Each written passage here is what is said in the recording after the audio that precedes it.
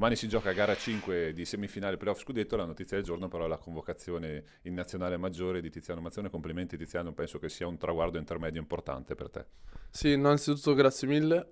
Eh, anche a tutte le persone che mi hanno fatto i complimenti oggi, mi hanno scritto per messaggio. Sicuramente è un grandissimo motivo d'orgoglio, è un coronamento del lavoro che sto facendo in palestra e cercherò di sfruttarlo al meglio. Anche perché durante questa stagione sovente sei entrato in campo, hai detto anche la tua hai fatto molto bene. Insomma, eh, Blengini diciamo non poteva non accorgersi di te.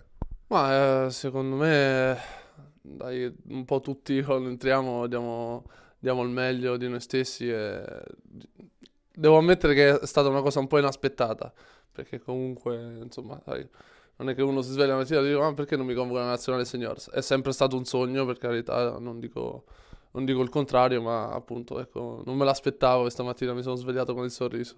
World League 2017 sei nella lista dei 21 assieme ad altri sei compagni di club, anche da questo punto di vista non ti sentirei solo, anzi è una bella garanzia per continuare a fare un buon lavoro di gruppo.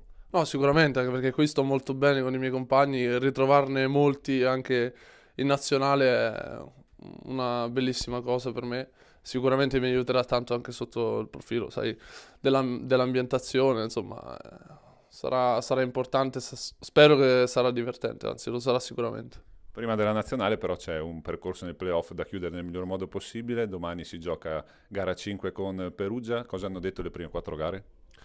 Le prime quattro gare hanno detto che tutte e due le squadre possono vincere, sia noi che loro Nell'ultima gara, secondo me, loro sono stati più bravi di noi, assolutamente non c'è nient'altro da dire, però insomma noi adesso siamo qui, siamo a Trento, abbiamo voglia di andare avanti nella serie, vogliamo raggiungere la finale e faremo di tutto per...